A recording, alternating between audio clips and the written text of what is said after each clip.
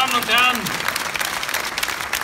am 24. September haben Sie eine Wahl. Sie haben die Wahl zwischen einer Kanzlerin, die jede Debatte über die Zukunft verweigert, oder zwischen jemandem, der Ihnen sagt, was er will.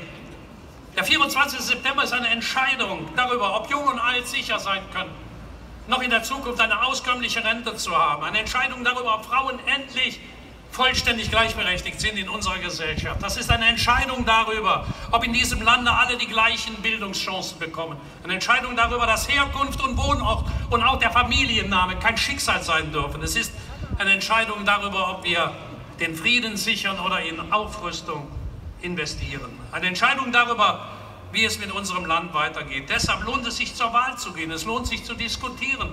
Mein Appell an Sie alle, an euch alle, sprecht mit euren Freunden. Redet mit den Nachbarn, euren Kolleginnen und Kollegen.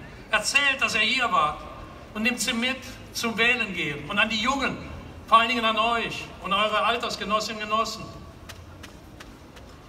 Sonntag sind die Wahllokale bis 18 Uhr geöffnet. Also selbst wenn man bis 16 Uhr pennt, hast du immer noch zwei Stunden. Sag das denen.